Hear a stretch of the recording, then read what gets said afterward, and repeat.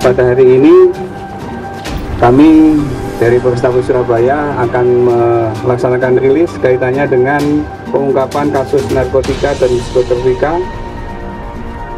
dengan jenis ganja, ekstasi, dan sabu serta uh, di jajaran Surabaya dan sekitarnya.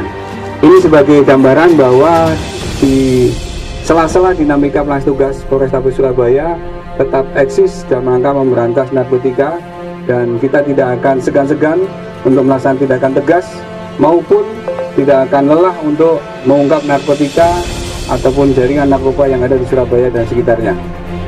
Hal ini mudah-mudahan bisa menginspirasi bagi anggota kita yang lainnya untuk mengungkap yang lain serta menjadikan warning buat para pelaku ataupun jaringan narkoba untuk jangan main-main di Surabaya.